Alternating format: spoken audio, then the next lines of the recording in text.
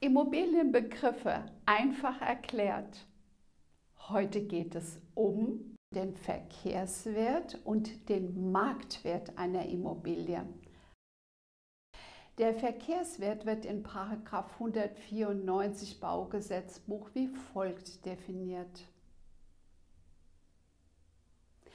Ein Verkehrswert wird durch einen Gutachter ermittelt und bezieht sich immer auf einen bestimmten Zeitpunkt, zum Beispiel 1.9.2020.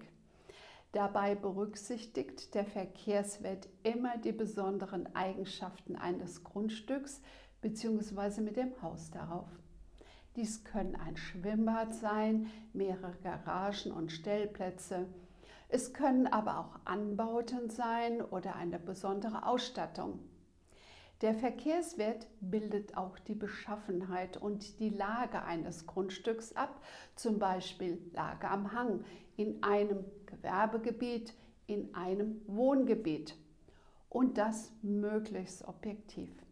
Dabei bleiben persönliche Umstände des Eigentümers eines Grundstücks außer Acht, zum Beispiel, dass ein Eigentümer dringend verkaufen muss und damit der Preis einer Immobilie unter Druck kommt.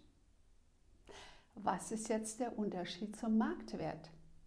Der Marktwert einer Immobilie richtet sich nach der momentanen Nachfrage.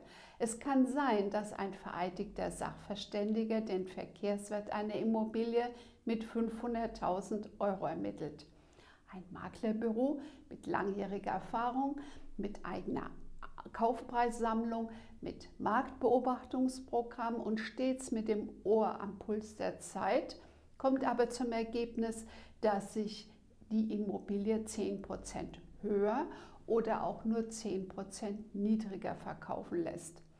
Da gibt es durchaus noch höhere Abweichungen.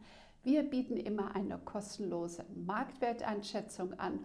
Rufen Sie uns an oder kontaktieren Sie uns per E-Mail. Wir freuen uns auf Sie.